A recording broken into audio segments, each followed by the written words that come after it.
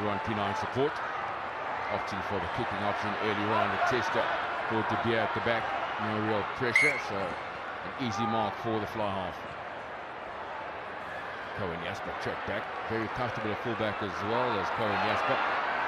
Sorry, remember his name and the varsity cap with CUT. Now on the left wing.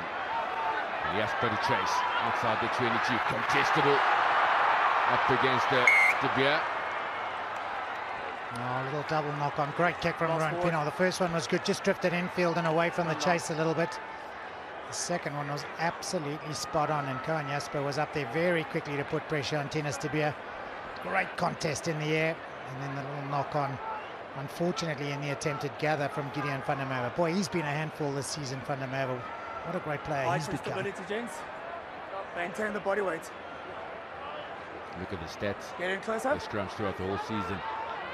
Cheetahs 93% success rate, and the Pumas 86%. So Square up. they'll be concerned with that. We've lost 13 scrums this season. And. Pumas, It is the main difference between these two sides, isn't it? The fact that Cheetahs are without without Schalk Ferreira. How will Mox Mkoli fit into this team today? How will uh, how will they manage that? The Pumas from the road have come under, under a bit of pressure at times. Olivier picks up to the backs, finds clear.